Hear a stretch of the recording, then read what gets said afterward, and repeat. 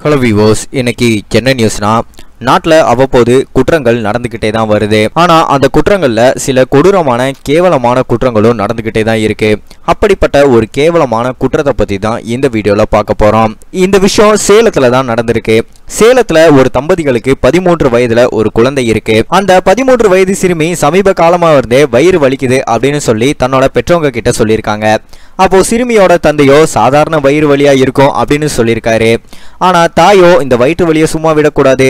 எப்படியாவது மருத்துவர்கிட்ட காட்டி குணப்படுத்திடணும் அப்படின்னு சொல்லியிருக்காங்க. தந்தை அதெல்லாம் வேண்டாம். சாதாரண வயிற்று வழியாக தான் இருக்கும் அப்படின்னு சொல்லி அசால்ட்டாக இருந்திருக்காரு.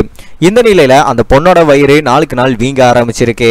வயிறு வலிக்குது அப்படின்னு சொன்னோடனே ஒரு ஒருவேளை வயிற்றுல கற்றி வந்துருச்சோ அப்படின்னு சொல்லி அவங்களோட அம்மா என்ன பண்ணிருக்காங்கன்னா அந்த பதிமூன்று வயது சிறுமியை கூட்டிட்டு மருத்துவமனைக்கு போயிருக்காங்க. அங்க இந்த சிறுமியை செக் பண்ணி பார்த்த டாக்டர் ஒரு அதிர்ச்சியான விஷயத்த சொல்லியிருக்காங்க. அதாவது இந்த பதிமூன்று வயது சிறுமி ஏழு மாத கர்ப்பிணியா இருக்கு அப்படின்னு சொல்லி அவங்க அம்மா கிட்ட சொல்லியிருக்காங்க.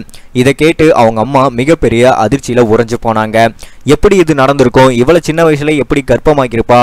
யார் இந்த என்னத்தை பண்ணால் சின்ன பொண்ணை ஏமாத்தி யாரோ பாலியல் பலாத்காரம் பண்ணியிருக்காங்களே அப்படின்னு சொல்லி டாக்டரும் அவங்களோட பெற்றோர்களும் கொந்தளிச்சாங்க. எப்படியாவது இந்த விஷயத்தை கண்டுபிடிக்கணும் அப்படின்னு சொல்லியிருந்தாங்க. இந்த நிலையில அந்த பதிமூன்று வயது சிறுமிக்கு குறை பிரசவத்துல குழந்தை பிறக்க போததா டாக்டர் சொல்லியிருக்காங்க. ஏழு மாதத்திலேயே அந்த பதிமூன்று வயது சிறுமிக்கு ஒரு ஆண் குழந்தையும் பிறந்தது. குழந்தையை சுமக்க கூடாத வயசுல குழந்தையை சுமந்ததுனால அந்த பதிமூன்று வயது சிறுமியோட உடல்நிலை ரொம்பவே பாதிக்கப்பட்டது. உடல் ரொம்பவே வீக்கானது.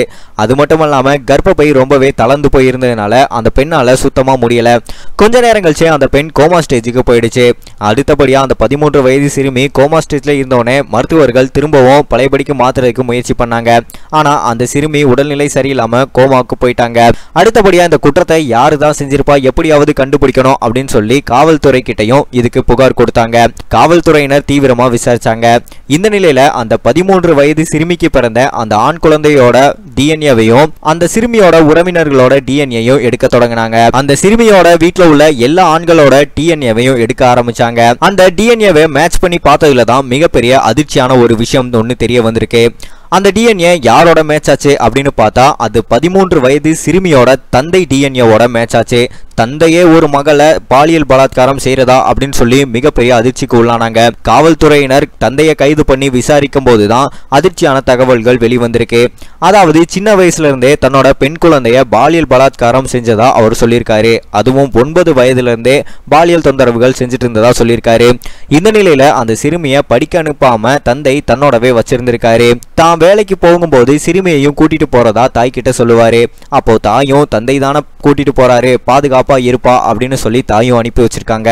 ஆனா தந்தையே ஒரு கொடூரமான வில்லனா மாறுவாருன்னு அந்த தாய்க்கு தெரியல. வேலைக்கு போகக்கூடிய இடங்கள்ல தனியா ஒரு அறையில கூட்டிட்டு போய் அந்த சிறுமிய ஒன்பது வயதுல இருந்தே அந்த தந்தை பாலியல் பலாத்காரம் செஞ்சுட்டு வந்ததா சொல்லியிருக்காங்க. இந்த நிலையில பதிமூணு வயதுல தான் அந்த பெண் கற்பமானதாகவும் சொல்லியிருக்காங்க. இதை கேட்ட போலீசாரும் குடும்ப உறவினர்களும் மிகப்பெரிய அதிர்ச்சியிலுக்கு உள்ளானாங்க. இவனை கண்டிப்பா தூக்கில போட்டே ஆகணும் அப்படின்னு சொல்லி பல பேர் கொந்தளிக்கவும் ஆரம்பிச்சாங்க. இந்த நிலையில இந்த விஷயம் சோசியல் மீடியாவில் வைரலாக பரவிட்டு வந்துட்டு இருக்கு கோமாவுக்கு போன அந்த பதிமூன்று வயது சிறுமியும் உடல்நிலை சரியில்லாம இறந்தும் போயிட்டாங்க. பெத்த மகளுக்கு பாதுகாப்பாக இருக்க வேண்டிய தந்தையே இந்த மாதிரி விஷயத்த செஞ்சதுனால அவன் தந்தை கிடையாது அவன் ஒரு அரக்கன் அவனை மரியாதையாக கொன்றுங்க அப்படின்னு சொல்லி எல்லா பேரும் கொந்தளிச்சிட்டு வந்துட்டு இருக்காங்க இதை பற்றின உங்களோட கருத்தையும் மறக்காம கீழே கமெண்ட் பண்ணுங்க. நன்றி.